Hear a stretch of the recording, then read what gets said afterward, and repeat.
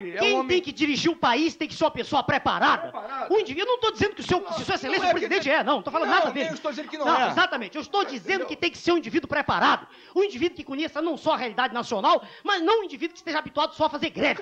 Um indivíduo que tenha uma visão panorâmica da realidade social e que tenha adquirido ao longo de sua vida uma visão de conteúdo profundo do que se chama formação humanística, formação do que se passa na sociedade como um todo e também Mas isso- disciplinar isso doutor mente. Fernando Collor de. Mello tem, Isso é outra questão. Doutor Enéas, peça disciplina não só para quem faz Cataldi. greve Só pra ao salário baixo, peça disciplina também. Você já reparou que quem joga no over não precisa fazer greve? Não, Mas veja Claro, bem, então essa balela de over aqui, aliás, nós Tem uma coisa a ver com outra. um pouco. Eu jamais Harmonia- indicaria meu pai para ser presidente da República. 15 Jamais. segundos. O senhor não Garantia indicaria a palavra do Já, meu pai jamais. Meu pai era um homem humilde, um barbeiro, um excelente profissional, sabia fazer barba. Jamais poderia dirigir um país. Eu não indicaria e não, está, não claro. estou desrespeitando a imagem de meu pai, de meu genitor, um homem sério, um homem probo, um homem respeitável, que aprendi a amar, O segundo mas jamais o indicaria. nesse programa. Jamais Aliás, indicaria. ô, Cataldi, eu o acho que- o coração dele. É, que- Cataldi, é,